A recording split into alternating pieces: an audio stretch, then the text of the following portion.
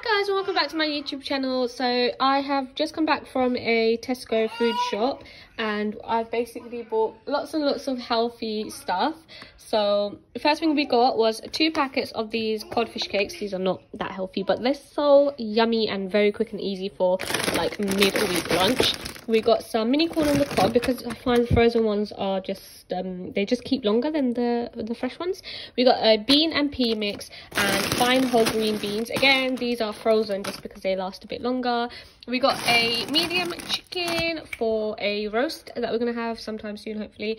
We got um, some baby spinach, big big bag because we use it in omelets and just general cooking courgettes, two cucumbers, one broccoli. Uh, we got these seasoned British parsnips. Again, that's for the roast. And I just thought because they're frozen and they're already seasoned, that will just be easy peasy. Some sweet potato wedges. These look yummy. And I checked the ingredients and there's really nothing, any, like no extra ingredients in them. So um, these will be very like convenient for midweek lunch and also you know yeah just, just that uh, some organic british carrots we got two packs of those some oranges because we're just trying to eat more fruit some cherry tomatoes which i'm just planning to cut up and like serve like in like pieces um raspberries black seedless grapes. We wanted the tesco's finest ones because you can really taste the difference in them but we couldn't find them. Three packets of avocados which are on offer on club card price.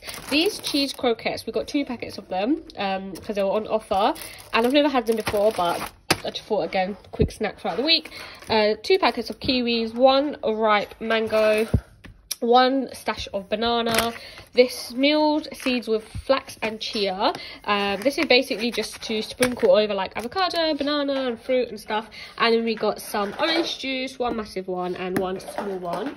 And that's literally about it guys. That was our top up weekly shop. Not weekly sorry. That was like a bi-weekly fortnightly um shop that we did um of just fruit and veg.